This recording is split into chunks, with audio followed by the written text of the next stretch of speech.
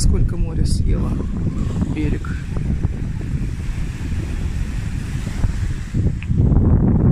Это вот гурпляж. Нимфейская дорога. Вот она.